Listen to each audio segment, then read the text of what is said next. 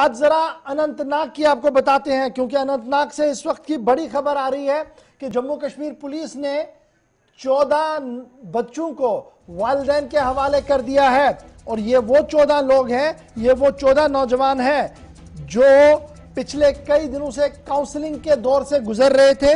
और काउंसलिंग मुकम्मल करने के बाद बाबा तौर पर पुलिस ने ईद उल अजहा के पेश नज़र, खैर सगाली जज्बे के तहत उन्हें वालदेन के हवाले कर दिया।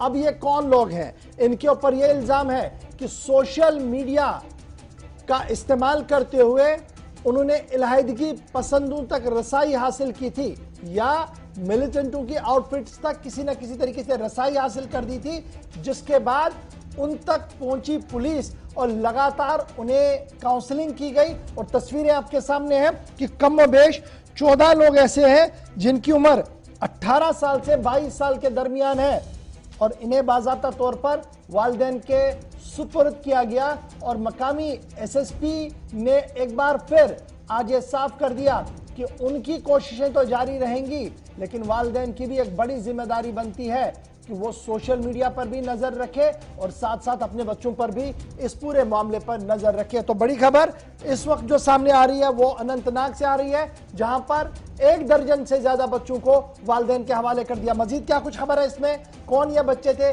कब पुलिस कस्टडी में चले गए थे? सीधे चलते हैं। फिदा हुसैन हमारे साथ ज्वाइन कर चुके हैं। फिदा चौदह बच्चों की रिहाई ईद उल फितर से पहले। पुलिस का एक और चेहरा सामने, लेकिन ये है कौन बच्चे? इनके वालदेन का मानना क्या कुछ है?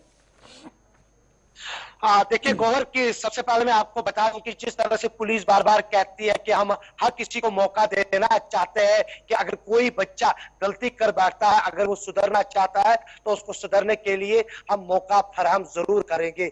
इस सिलसिले में अगर हम अनंतनाग पुलिस की बात करेंगे, अनंतनाग पुलिस ने आज एक बार फिर ये करके दिखाया कि लीजिए, ये चौदह बच्चे है जो कुछ गलत कामों के सिलसिले में घर से निकले थे, लेकिन पुलिस को जब पहले ही पता चला तो उसके बाद पुलिस ने इनको हिरासत में ले लिया, समझाया इनको कि आपको क्या करना चाहिए। क्योंकि आप नई नस्ल की पीढ़ी है और आप अपने घर वालों के साथ रहे आप अपने माँ बाप की खिदमत कीजिए आप पढ़ने पर ध्यान दे दीजिए और अगर आपको ज़रूरत पड़ती है तो हम भी आपको मदद के लिए तैयार है। आज खुद एसएसपी अनंतनाग इम्तियाज़ हुसैन ने चोरा जो लड़के हैं उनके घर वालों को बुलाकर उनको समझाया उनके घर वालों के सामने समझाया और उनको ये कहा कि पुलिस ने आपको मौका दिया अब आपके पास एक बड़ा मौका है क्या ये ऑलरेडी पुलिस के पास थे कई दिनों से? काउंसलिंग हो रही थी या सिर्फ़ आज बुलाया गया था, सुबह से काउंसलिंग करके शाम को भेज दिया गया?